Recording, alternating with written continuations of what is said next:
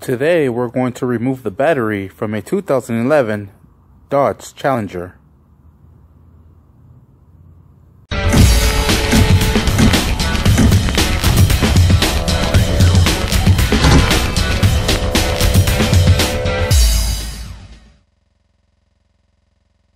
Alright, so the battery is actually not located in the engine bay.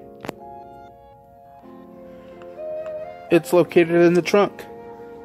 There it is. So let's go ahead and get it out. Alright, the tools that you're going to be using is going to be a 10 millimeter wrench. This does have a battery clamp, but this one does not. So let's go ahead and remove these. Gonna go ahead and use this 10 to loosen up the negative and the positive terminals. Once you have those loose, just go ahead and remove them, starting off with the negative and ending off with the positive.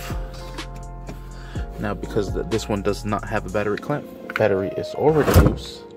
So let's go ahead and get it out.